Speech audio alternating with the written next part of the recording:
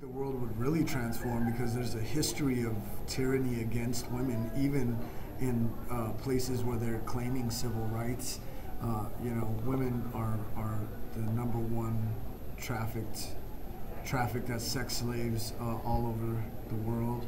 And I think that it, it, it would help us to have more integrity as human beings because if we can treat women as our equals, then it, it would bring more integrity to the people who are committing these atrocities.